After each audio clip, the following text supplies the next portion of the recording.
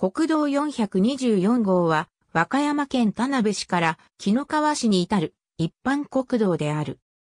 和歌山県内で完結する一般国道で、田辺市の和歌山県道31号田辺、白浜線分岐から日高郡南町を経由し、県域の中部から北部にかけての内陸の山間部を南北に縦走して、和歌山平野の中域に位置する木野川市の国道24号交点と結ぶ延長 124.9km の路線である。主な通過地は、南町、田辺市竜神村、日高郡日高川町大技川原川、有田郡有田川町大技、金谷、海南市、木野川市桃山町である。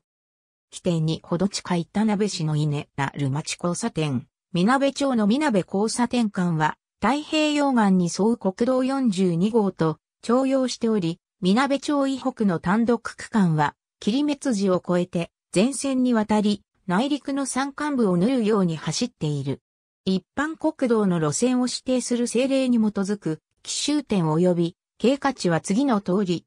政令上の終点は、和歌山県長郡内田町となっているが、合併に伴い、現在は、木野川市となっている。紀伊半島の国道の中では、比較的整備が進んでいるが、海南市内などにはまだ離合困難な区間が残っている。以下、路線の全区間が和歌山県内にあるため奇襲点住所は県名を省略する。